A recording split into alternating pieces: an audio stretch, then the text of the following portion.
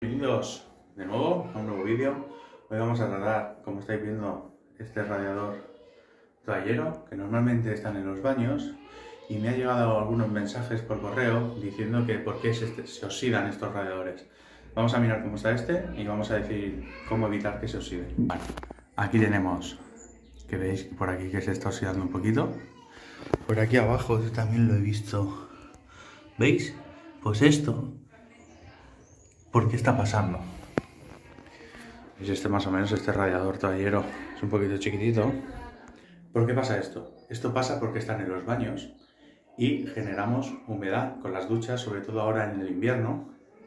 Generamos mucho vapor en la ducha porque nos duchamos con, con agua muy caliente.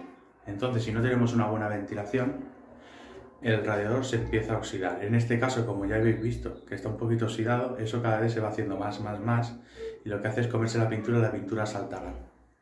Y luego queda pues un poquito feo, queda un poquito marrón, todo esto aquí, y la gente normalmente los cambia porque quedan feos en el baño. Y estamos hablando de que un radiador como este, pues unos 125, 150 euros no te lo quita nadie. Para evitar esto, muy fácil.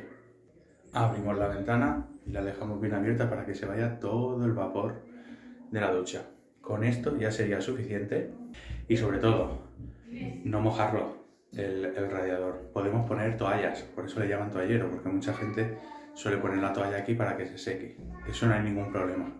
Lo que no se podría, tal como está este radiador, con estas cositas que tiene aquí, si yo lo mojo o al purgar por aquí sale agua y se queda aquí, eso lo que va a hacer es que se siga poniendo todo de color marrón y al final tendremos que cambiar el radiador. Así que con esto finalizamos el vídeo, espero que os haya servido, sobre todo para que lo tengáis en práctica y os dure mucho más vuestro radiador toallero. Un saludo y nos vemos en el próximo vídeo.